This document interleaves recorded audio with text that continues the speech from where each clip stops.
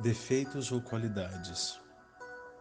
Na vida dois, os caminhos se entrelaçam em alguns pontos e se distanciam em outros, nos deixando às vezes acompanhados e outras vezes sozinhos.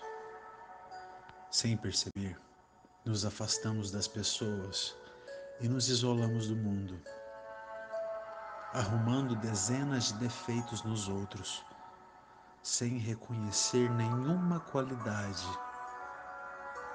para talvez dar mais credibilidade à nossa tristeza crônica, como se a razão fosse totalmente nossa e se nada estivesse à altura. Avaliando as pessoas como se fossem produtos nas prateleiras, descartando-as por mínimos arranhões nas embalagens. Hoje me peguei fazendo isso, ressaltando os defeitos de alguém sem perceber as várias e, be e belas qualidades que ali estavam. Triste realidade que cresce a cada dia que passa, onde somos cada vez mais descartáveis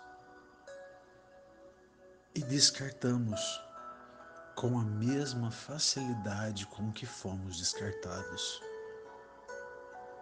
Repassamos a falsa ideia de que pessoas são objetos, sem reconhecer que ter sido deixado de lado não me dá o direito de fazer o mesmo com o próximo. Percebi que precisa começar em mim a mudança que quero no mundo, para que só assim a realidade ao meu redor comece a mudar. E quem sabe o meu grande sonho de um amor verdadeiro se realize. Pode ser que ele tenha passado por mim algumas vezes, mas eu estava gastando todas as minhas forças olhando os seus defeitos.